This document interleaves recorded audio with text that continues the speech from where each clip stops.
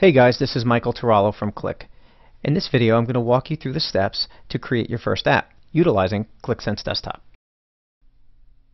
Once you have installed QlikSense Desktop, start the program by selecting the QlikSense Desktop shortcut icon from the Windows Program menu or use the shortcut on your desktop.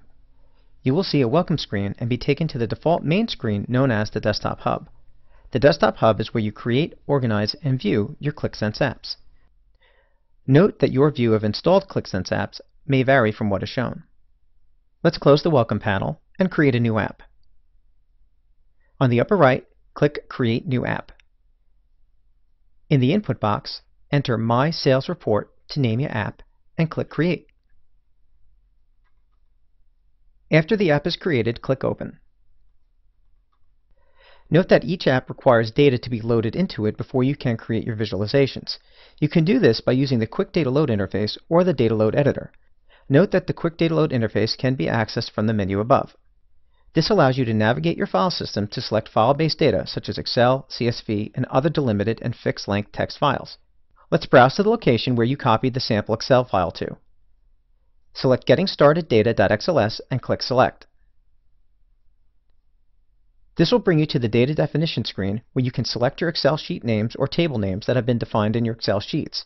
You can also select, deselect, and rename fields and configure the appropriate settings for your file.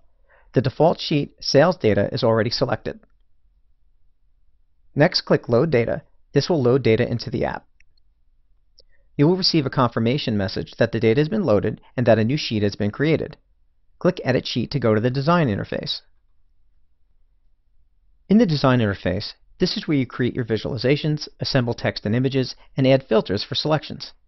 Note that a complete overview of this interface and other parts of QlikSense Desktop is available in this series and will not be covered in this exercise. Let's add a visualization object. Drag the bar chart object over to the blank canvas on the right. Attempt to fill the whole area by following the highlight. A bar chart placeholder will fill the area selected. Note the dimension and measure buttons in the center. These buttons simply add measures, numerical components, and dimensions, textual components, to chart objects. Note you can also drag and drop additional measures and dimensions from the master library when defined, and field list panels if desired. Let's add dimensions and measures. Click the Add Dimension button and select Country from the list. Click Add Measure. In the search box, type Sales. Select Sales and select the aggregation Sum Sales. The bar chart displays with the selected dimension and measure. Note here we have a comparison view of sales by country. We can clearly see that Germany is our top performer with respect to sales, while Norway is far behind. If we click Done in the toolbar above, we can perform various interactive operations on the chart. If you resize the desktop program, you will notice that the chart responds to the form factor, adjusting the data and view appropriately. Now let's adjust some chart properties. Use the orange resize handles to adjust the bar chart so it fits in the upper left corner as shown. In the Property panel on the right, enter total sales in the input box for the Measures Label property. Change the number formatting option to Money.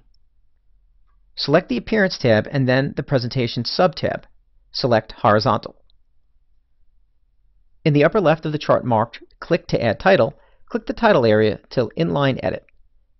Enter in the text Top Countries by Sales. Now let's add a text object displaying total sales. Drag the text and image object next to the bar chart in the highlighted area. Double-click the object to enter the text insertion mode. Enter the text Total Sales. Add an additional space after sales. Switch to the Fields List panel on the left. Locate the sales field and drag it over to the text object. From the list, select Add as Measure, Sum. Under the number formatting, select Money. Now click the numeric value in the text box. It will convert it to a formula symbol. Click it again to select it. It will highlight it in blue. Let's change the font color to blue using the color palette. Now position and size the object as shown. Now let's add a selection filter. Filter objects allow us to select and search all possible excluded individual and alternative values for your dimensions. In the Field List panel on the left, locate Category Name. Drag over to upper left corner as shown. The object should populate with all unique product category values. Click the title, category name, and inline edit to show category. Let's now add a tree map visualization. Switch to the Charts panel and drag over the tree map as shown. Click in the area Click to add title and inline edit with Sales by Country, Category, and City. Click Add Dimension and select Country. Click Add Measure and select Sales, and then Sum Sales for the aggregation. Switch to the Field panel on the left and drag Category Name and drop it on top of the tree map. Select Add Category Name. Let's repeat this by dragging and dropping City, and then adding City to the tree map. Your app should look like this. Let's click the Save and then the Done button. You can now perform selections and interact with the app. Your new application will be available as a QVF file in the Users Documents directory. In this state, as a QVF file, it is now ready to be imported into the QlikSense server using the QlikSense Management Console and its import facility found under the Apps section.